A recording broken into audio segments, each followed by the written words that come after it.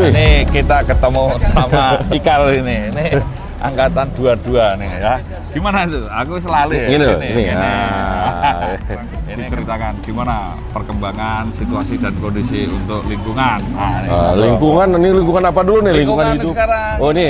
untuk masalah apa namanya kita ini perlu sehat, perlu Iya. tertib, perlu ada keteraturan sosial. Eh, amanah presiden sudah jelas bahwa di ruang terbuka itu buka masker. Maknanya eh, berarti eh, ya kita tetap harus hati-hati ya. Tapi eh, peluang untuk membuka apa, Nomor satu sehat, ya untuk membuka Dua, jadi sehat semangat. itu Dan terus harus semangat smart. betul. Nah, Jadi kita 3S harus ya. harus pilih-pilih jadi Nah, kan jadi karena smart. melihat semangat karena mau tidak mau kondisi pandemi ini bisa menimbulkan suatu permasalahan ya. Ya, Nah, kalau kita tidak hati-hati. Hati. Jadi apa yang diamanahkan presiden gitu ya. harus tetap prokes gitu. dan kita semangat tetap dijaga. Udah booster kan udah tiga kali kan? Wah, sudah tiga kali. Udah, udah tiga kali aman berarti toh. Ya bukan masalah amat, tapi harus juga waspada. Waspada, awas apa bodo Nah, Oh iya iya iya, betul betul betul itu Nah, betul juga. Walau sedikit pasti ada gitu ya. Oh iya. Eh Pak Tri, sekarang kalau ada yang mau diomongkan, ini Lemhanas punya kegiatan apa saja nih kaitan dengan masalah kegiatan eh, kebangsaan, Oke. kaitan ketahanan, kaitan juga menjaga NKRI, kaitannya dengan kajian-kajian lain. Saya kira Lemhanas kan banyak nih. Ya saat ini kami diberi tugas oleh presiden melalui gubernur ya gubernur itu eh, untuk concern di lima isu ekonomi biru, ekonomi hijau, konsolidasi demokrasi, eh, masalah IKN dan transformasi digital. Nah, apa tuh? Sebutkan tuh yang biru hijau tadi. Ah, ekonomi hijau itu gampangnya bahwa semua itu berhubungan dengan eh, green environment. Artinya eh, model di darat itu ada pohon, ada eh, pohon itu mengganti emisi karbon dan lain sebagainya. Bahwa kesegaran kehidupan itu tandanya dari udara yang bersih, udara sehat, dan air yang sehat. Gitu. Termasuk lingkungannya ada banyak pohon kan, Dan produksi juga oksigen. peduli sampah gitu kan. Oh ya iya, itu udah jelas itu. Yang kedua itu ekonomi biru berarti kesehatan laut. Nah, kesehatan laut dan sumber daya laut itu Dan bagaimana? menjaga lingkungan gitu ya. menjaga lingkungan betul ya jadi jangan juga nanti limbah-limbah itu buangnya ke laut ya kan kita juga punya sumber daya yang besar di situ. di laut jelas kita negara maritim loh Nah, ya. terus masalah transformasi digital ya bagaimana lah kita eh, Merubah mindset. merubah Nah, mindset betul Iya. Jadi kita dan bukan cuma sekedar pakai pakai Ah, doang ya iya. tapi, Tapi bagaimana itu jadi hal yang positif Bisa mengedukasi, mentransformasi dan big data system. ya big data itu yang paling penting gitu sama satu lagi security Security berarti ada cyber security. ada gitu ya. cyber security Nah sekarang ini Pak Andre, kalau kaitan dengan eh, kita ini ada keteraturan sosial di dunia aktual, berarti perlu nggak ada eh, keteraturan sosial di dunia virtual? Oh, wajib. Ya kan? Karena kan harusnya dunia virtual itu adalah refleksi dari dunia nyata.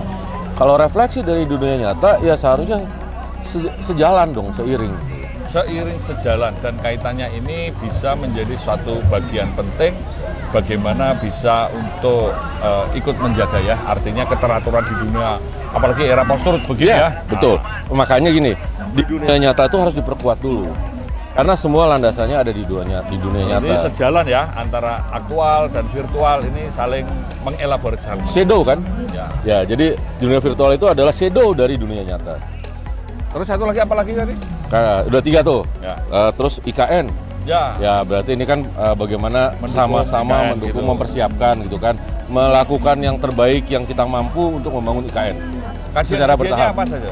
Eh, kami sedang eh, membuat kajian kemarin gubernur sempat eh, kajian juga masalah pertahanan dan aspek pertahanan keamanannya. Terus udah gitu sekarang sedang ada kajian juga untuk eh, masalah eh, mitigasi ya eh, lingkungan hidup nanti seperti apa gitu kerjasama eh, ant- eh, sinerginya seperti ini apa? Kaitan smart city, termasuk smart city termasuk smart city ya. ya kemampuan kita seperti apa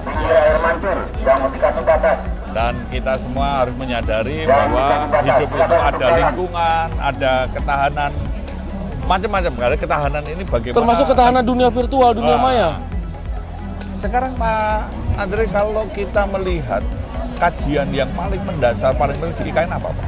Kajian yang paling mendasar itu adalah kalau di kalau di kalau saya ditanya adalah bagaimana komitmen semua pemangku kepentingan ya termasuk rakyat ya dan semuanya lah gitu loh baik yang uh, pro atau kontra itu bisa terwujud tahun 2024. Kalau saya pikir itu Ini bagaimana menyamakan persepsi. persepsi. Jadi artinya ini suatu kebijakan untuk demi kemajuan bangsa supaya Tapi bang lebih dalam lagi, bagaimana menyamakan nawaitu, Wah, menyamakan niat. Kalau niatnya sudah karena berbeda, ini IKN Pak Mandiri setuju juga. Ini suatu bagian untuk membuat negara ini berdaulat, berdaya tahan, berdaya tangkal bahkan berdaya. Setuju ya untuk eh, jadi perubahan eh, perpindahan ikan itu yang jelas direncanakan untuk hal yang baik. Ya. Nah, kenapa itu tidak eh, apa tidak eh, mudah? Ya di mana-mana orang mau membuat hal yang hal baik itu pasti banyak godaan. Makanya di di ma- apa di eh, muka bumi ini diciptakan setan untuk mengganggu gitu.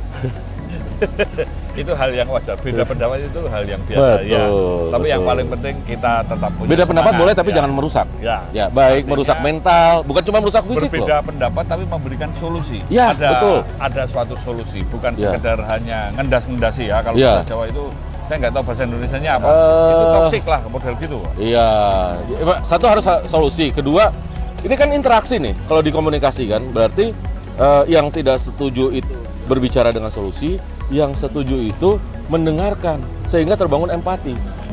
Kalau yang nggak ada empati, ya kata ya kata orang Jawa tadi eker-ekeran, terus kan nggak akan never ending eker-ekeran. Nah satu lagi apa tadi? Konsolidasi demokrasi. Konsolidasi demokrasi ini gimana nih? Oke, konsolidasi demokrasi ini intinya bagaimana eh, nantinya kita tetap mempunyai pemerintahan yang berdaulat, berdasarkan hukum, lalu eh, menghargai hak asasi manusia, dan eh, bagaimana sinergi antar pemangku kepentingan itu terbangun, lalu eh, apa eh, Indonesia itu menjadi sebuah negara yang damai. Mampu memberikan jaminan dan perlindungan HAM, transparan, akuntabel, Ya. dan supremasi hukum. Ujungnya damai. Dan satu lagi bisa meningkatkan kualitas hidup. Oh ya, kalau kualitas hidup jelas itu. Itu Nah, eh, sebagaimana amanah konstitusi. Tadi sudah panjang lebar cerita itu. Sekarang ada pesan moral apa buat kita semua nih? Kita bukan mau bicara yang lain-lain, tapi kita melihat sosial kemanusiaan, melihat lingkungan, melihat satu hal yang baik. Oke, eh, pesan moral saya cuma begini, eh, belajarlah untuk mendengar.